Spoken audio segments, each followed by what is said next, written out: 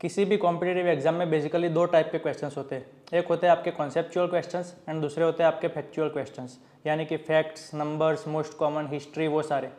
कितना भी फ्रस्ट्रेटिंग हो बट ये सारे क्वेश्चंस आपको वर्ड टू वर्ड याद रखने ही पड़ेंगे। क्योंकि जितना आपके कॉन्सेप्चुअल क्वेश्चंस मैटर करते हैं, उतना ही या उससे भी ज़्यादा ये क्वेश्चंस भी मैटर करते हैं रैंक लाने के लिए। ऊपर से ये तो रोकड़ मार्क्स है। अगर आता है तो दो सेकंड में टिक एंड चार मार्क्स प्लस ज़्यादा सोचना या लॉजिक लगाने की बात नहीं होती है. एंड यही क्वेश्चंस आपको एक्स्ट्रा देते हैं because majority of the students के लिए सारे क्वेश्चंस बहुत ही ज़्यादा डिफ़िकल्ट होते हैं, रट्टेबाजी वाले. एंड अगर आपने सही कर लिए तो आप कॉम्पिटिशन में डायरेक्टली टॉप कर लोगे. एंड सिमिलरली यही क्वेश्चन आपने अगर गलत कर लिए तो आप डायरेक्टली कॉम्पिटिशन से आउट हो जाओगे. इसीलिए आपको इंपॉर्टेंट टॉपिक्स के एक एक वर्ड को याद रखना पड़ता है. कितना भी डिफ़िकल्ट हो रट्टेबाजी मारनी पड़े, लेकिन वो आपको याद रखना ही पड़ेगा. एंड वो भी ऐसे कि एमसीक्यू सॉल्व करते टाइम पे सिर्फ़ 20 या 30 सेकंड में आप उसको टिक कर दो, क्योंकि आपको उतना ही टाइम मिलता है एग्ज़ाम में एक एमसीक्यू सॉल्व करने में। अगर दिमाग में पड़ा है तो सही वरना गलत। हाँ कुछ टेक्निक्स है जिसकी वजह से आप ये सारी चीज़ों को थोड़ा आसान बना सकते हो। भले ही रट्टा तो मारना ही पड़ेगा, याद तो रखना ही पड़ेगा, क्योंकि एग्ज़ाम में वो पूछा जाता है, कुछ भी कर लो आप। बट कुछ टेक्निक्स है जिसकी वजह से आप वो चीज़ों को इजीली याद रख सकते हो, थोड़ा सिंप्लीफाई करके अपने दिमाग में बिठा सकते हो, ताकि एग्ज़ाम में वो तुरंत याद आ जाए।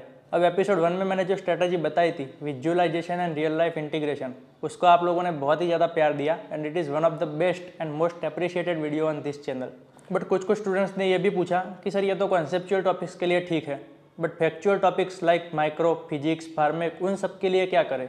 तो उस टाइम पर भी मैंने बताया था कि ये टेक्निक आप किसी भी टॉपिक पर अप्लाई कर सकते हो, क्योंकि आप जो भी पढ़ते हो, वो सब कुछ रियल लाइफ में एग्जिस्ट करता है। आपका काम जस्ट वो लिंक बनाना है। एंड ये रट्टाबाजी वाले क्वेश्चंस में भी वो टेक्निक कैसे अप्लाई करनी है, वो मैं आपको किसी और दिन बढ़िया एग्ज़ाम्पल के साथ बताऊँगा। आज बात करते हैं ऐसी एक वासम टेक्निक की, जिसकी वजह से आपको रट्टाबाजी से बिल्कुल ही मुक्ति मिल जाएगी। एंड जिससे मैंने ऐसी ऐसी चीज़ें याद रखी थी कि आप अगर पचास बार भी पढ़ लो, फिर भी भूल जाओगे। बट मुझे अगर आधी रात को भी उठा के पूछ लोगे तो भी मैं एक सेकंड में जवाब दे दूँगा। एंड प्रैक्टिकली तभी ऑल इंडिया रैंक टू तक पहुँचा था। जब आपके पूरे इंडिया में सबसे ज़्यादा क्वेश्चन सही हो जाएँगे, तब आप automatically all India rank one ले आओगे। माइक्रोबायोलॉजी एमबीबीएस का एक ऐसा सब्जेक्ट है, जिसमें बहुत सारी रट्टेबाजी है। एंड मैं जब सेकंड ईयर में था, तब ऐसा ही एक टॉपिक हर बार गलत होता था। एंड वो था टीनिया सोलियम एंड सजाइनाटा का डिफरेंस एंड उसमें भी ये पूरे टेबल से सिर्फ़ तीन चार लाइंस ही थी जो इम्पोर्टेंट थी, जो याद रखने की आवश्यकता थी। अब आप पूछोगे कि सर, आपको कैसे पता चला कि सिर्फ़ ये तीन चार लाइन्स याद रखनी है, बाकी सब छोड़ देना है? तो भैया, यही लाइंस में से हर ऑल्टरनेट मोक टेस्ट में क्वेश्चंस आते रहते थे कि किसका इंटरमीडिएट होस्ट पिग है, या फिर सोलियम का इंटरमीडिएट होस्ट क्या है, किसकी लेंथ शॉर्ट है एंड किसकी लेंथ लॉन्ग है, कौन ज़्यादा सीवियर डिसीज़ करता है या फिर सब कंबाइन करके ये सेम तीन चार लाइंस ऑप्शन में होती थी एंड एक सही या गलत टिक करना होता था।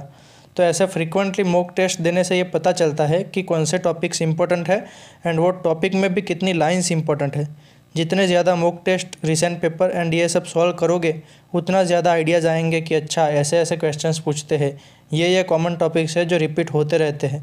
ये ये कॉमन क्वेश्चंस है जो रिपीट होते रहते हैं। हालाँकि क्वेश्चन सब ज़्यादा रिपीट नहीं होते हैं बट टॉपिक्स तो हंड्रेड परसेंट रिपीट होते ही है। भैया, ऐसे करना होता है स्मार्ट वर्क और मेरी चैनल ऐसे वीडियोस से भरी पड़ी है जो आपकी लाइफ चेंज कर देंगे। देख लेना सारी की सारी वीडियोस आज ही सब्सक्राइब करके। किसी भी कॉम्पिटेटिव एग्ज़ाम में सब कुछ पढ़ने की बिल्कुल भी आवश्यकता नहीं होती है। हाँ इंपॉर्टेंट टॉपिक्स भी इतने हैं, जो आप ठीक से नहीं पढ़ोगे तो वो भी नहीं हो पाएँगे। लेकिन वो पूरी बुक या सिलेबस के कंपेयर में सिर्फ़ ट्वेंटी परसेंट ही होते हैं। अब उतना तो पढ़ना पड़ेगा ना, अब इंडिया में टॉप करना है तो यार। हाँ तो अब ये जो टेबल है, जो मैरो के पल्स में दिया हुआ है, वो मैं हर बार इतने अच्छे से पढ़ के जाता था, लेकिन हर बार मिक्सड अप हो जाता था कि किसका होस्ट पीक था, किसका काव था, कौन लंबा था, कौन छोटा था। फिर मैंने ये टेक्निक अपनाई एंड आज तक नींद में से भी उठा के अगर कोई मुझे पूछ ले तो भी मैं एक सेकंड में बता दूँगा। ऑल दो मैंने दो साल से वो चीज़ पढ़ी नहीं है, फिर भी। बहुत ही सिंपल मेथड है हो सकता है आप लोग भी करते हो छोटी मोटी चीज़ों में बट मैं आपको पूरे टॉपिक पर अप्लाई करना सिखाऊँगा। एंड वो टेक्निक है cross connection in that what I do is I attach all factual things to any related things which I am familiar with चलो एग्ज़ाम्पल के साथ थोड़ा सिंप्लीफाई करके देता हूँ। इसी टेबल को देखते हैं। टीनिया टीनिया दोनों में सेम है तो वो वर्ड में नहीं पकड़ूँगा। बट डिफरेंट क्या है? एक में है सोलियम एंड एक में है सजाइनाटा तो मैं इन दो वर्ड्स को पकड़ूँगा। सोलियम का होस्ट है पिग। अब पिग बहुत ही गंदा होता है। सो मैंने क्रॉस रिलेट किया सोलियम को किसी गंदी चीज़ के साथ। एंड उसमें भी गंदी चीज़ ऐसी होनी चाहिए जो याद आए नाम देखते ही। वरना फिर उसको याद रखने के लिए और रट्टाबाजी हो जाएगी। तो वह ऐसे निकालो जो नाम में ही हो। एंड वो है सोल पैर का तलिया। सोल अपना बहुत ही गंदा होता है। एंड सिमिलरली पीक भी गंदा होता है। सो अब मुझे याद रह गया कि सोलियम जहाँ पर भी आता है, यानी सोल, एंड यानी पिग। अब सजाए नाटा का मुझे याद रखने की भी ज़रूरत नहीं है। वो ऑटोमेटिक काउ ही बचेगा।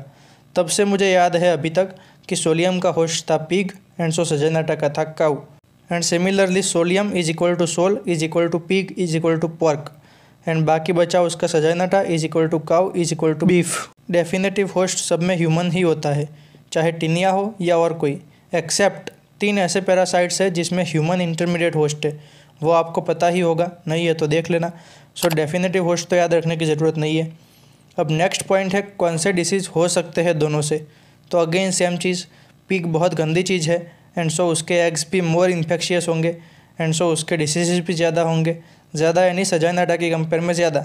सो so, सजाइनाटा करता है सिर्फ़ टिनियासिस बट सोलियम यानी सोल यानी गंदी चीज़ यानी पिग यानी वर्स्ट चीज़। सो इन्फेक्शियस एग्स एंड सब कुछ मिला के इतनी बकवास चीज़ है ये सोलियम कि ओनली टिनियासिस नहीं करेगा। साथ में सिस्टी सर्कोसिस भी करेगा। अब सिस्टी सर्कोसिस क्या है, वो आपको पता होना चाहिए।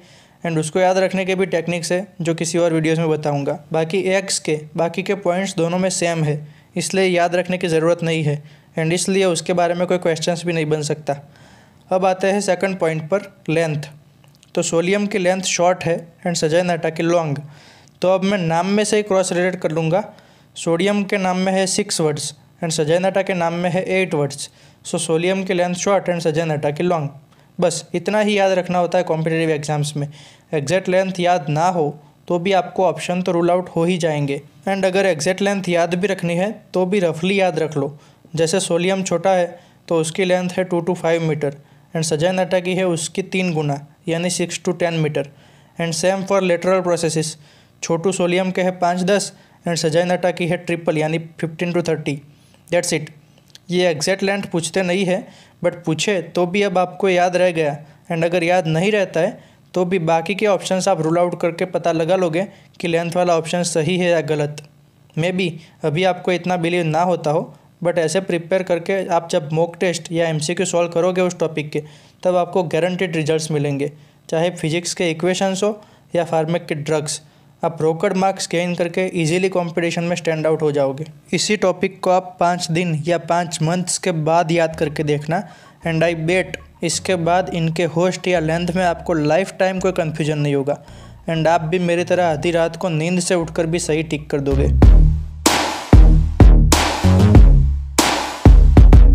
लोग पूछते हैं कि इतने बड़े सिलेबस की एक एक लाइन कैसे याद रह सकती है? तो भैया, एक एक लाइन याद रखने की ज़रूरत भी नहीं होती है। रट्टेबाजी वाली चीज़ों को भी अगर ऐसे कॉन्सेप्चुअल बना के क्रॉस कनेक्ट करके दिमाग में इमेजिन कर लेते हो तो लाइफ टाइम वो याद रह जाता है। एंड ऐसे ही जस्ट ऊपर ऊपर से ही डिटेल में याद ना रखने के बावजूद स्मार्टली क्वेश्चन सही करते हैं टॉपर्स आई नो ये कोई नई चीज़ नहीं है। आप भी शायद ऐसे या किसी और तरीके से याद रखते होंगे। बट मैंने तो मेरी टेक्निक प्रूफ के साथ आपको पूरे टॉपिक पर अप्लाई करके दिखाई। बाकी अभी तक आपने इस सीरीज़ का एपिसोड वन नहीं देखा है तो देख लेना अभी के अभी। उसमें मैंने कॉन्सेप्चुअल चीज़ों को याद रखने की एक असम टेक्निक बताई है। यहाँ पर आ जाएगा वीडियो लिटरली आपके थाउजेंड्स ऑफ़ आवर्स सेव हो जाएँगे। वरना ये वीडियो देखो जो कि इसके साथ रिलेटेड है। बार बार मेरे वीडियोज़ को देखने आने के लिए आपका बहुत बहुत धन्यवाद। मिलते हैं नए वीडियो में और भी ज़्यादा एनर्जी के साथ।